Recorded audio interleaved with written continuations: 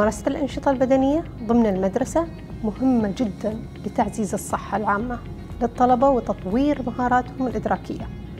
فقد أشارت الكثير من الدراسات إلى أن الطلبة الذين يشاركون في الأنشطة الرياضية المدرسية يكونون أقل عرضة لممارسة بعض العادات الغير الصحية كالتدخين على سبيل المثال. وأكثر فرصة للاستمرار في الدراسة وتحقيق التفوق الدراسي وبلوغ أعلى المستويات الأكاديمية فكما يقال العقل السليم في الجسم السليم.